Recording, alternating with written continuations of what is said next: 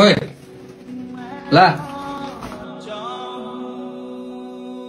आज चाहिँ किनेर ल्याइदिए होइन भोलिदेखि चाहिँ यस्तो कुराहरू लिनु मलाई नपठाउनु है लाज हुन्छ नि मेरो नि यार मान्छेले कसरी हेर्छ मलाई जहिले मलाई मात्र पठाएको छ यस सामान ल्याउनुलाई यस्तो सामान लिन मलाई पठाउने मम्मी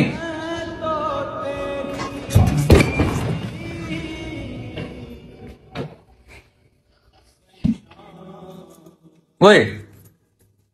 दुनियाँ गइरहेको छ त यार। गर तँ पनि जान न प्रोटेस्टमा गएर प्रोटेस्ट सोटेस्ट गर्नु पर्दैन हेरे छैनस् के भइरहेको छ? फेसबुकतिर के भइरहेको छ? के चलिरहेको छ? किन जाने अरे प्रोटेस्टमा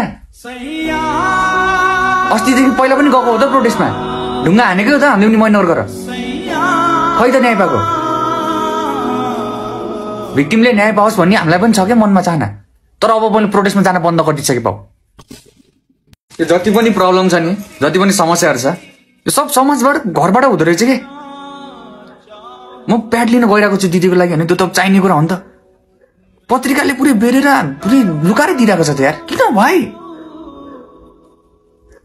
रक्सी बरु छोपेर राख नि यार। रक्सी चाहिँ ओपनली बेचिरहेको छ यार। रक्सी चाहिँ हात हातमा लिएर पुरै घाँटी घाँटी हानेर हिँडिरहेको छ त यार। जुन दिन होइन म गएर आफ्नो दिदी बहिनीको लागि फ्रिली त्यो किनेर प्याड सेट किनेर ल्याउन सक्छु। आनन्दले ल्याउन सक्छु। त्यो दिन जान्छु भाउ म प्रोटेस्टमा। हन्ड्रेड भयो तपाईँको छोराको यो बच्चा नै भयो त्यो दिन प्रोटेस्टमा गइदिन्छु म। अनि जुन दिन तपाईँले हाम्रो दिदी बहिनीलाई रातितिर घुम्न पुरा फ्रिली राति आओस् दिनमा आओस् के मतलब हुँदैन नि रातितिर आओस् फ्रिली घुमोस् हो त्यो दिन जान्छु म प्रोटेस्टमा।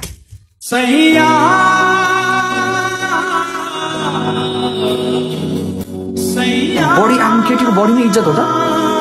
हामीले बनाइदिएको हो क्या। भिक्टिम पीडित छ। न्याय पाओस्। हन्ड्रेड पाओस्। अनि जति पनि जान छौ नि अल बोइज आर सेम भन्ने। Every guy is not a rapist है। रेप चाहिँ रेपिस्टले गर्ने हो but every boy is not rapist.